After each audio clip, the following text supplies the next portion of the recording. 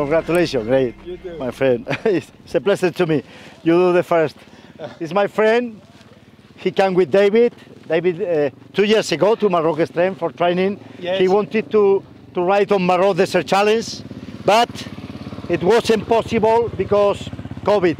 So now he, he have his dream. He's coming here, Touareg, finish your first stage. Are you happy? I'm very happy. After so many times we wait for this rally, Yeah. and it's great. Ah, Great, thank great, you. great. Thank you to you for your confiance. Yeah. For me, it's a pleasure. We know us. So, David Richardson, thank you because you take this guy to the club. Eh, But we know you have not uh, uh, lucky in your rally in South Africa because all was destroyed the third day.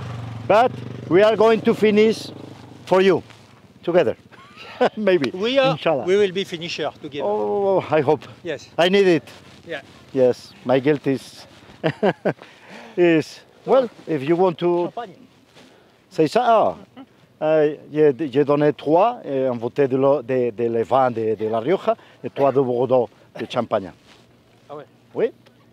Alors, Petit Saint-Émilion. ah. Saint-Émilion. C'est. Saint-Émilion. Attention, eh. Ouais. Bueno, ahora fuera de bromas.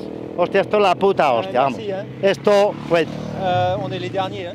On Oui. est les- Non, oui, on est les derniers. No, no, no, no, yo lo sé. Euh, Esto es la puta leche. O sea, está, está fenomenal. Hemos hecho una etapa, hace mucho calor. Ya hay un, un concursante que no ha acabado. You see the helicopter? There is one. Hay un, un eh, participante In Jordan? In Jordan? yes. Eh, en nuestra categoría que ha caído. Aquí hay muchas piedras, hace mucho calor y esto no acaba nada más que empezar. Lo decimos siempre, por favor, ser cautos. Todos tenemos números de lotería, pero no merece la pena. Esto es una carrera de larga distancia, hace muchísimo calor y seguro que el Chegara nos está esperando. No sé si mañana, pasado, tener mucho cuidado. El objetivo es que el Club Aventura Tuareg terminemos todos. Él ha decidido por presupuesto eh, venir en mal moto, pero estoy seguro que si la moto lo permite y todo va bien, acabaremos. Nos vemos en la meta, ¿vale? Vamos, bye bye. Legal, tá bom.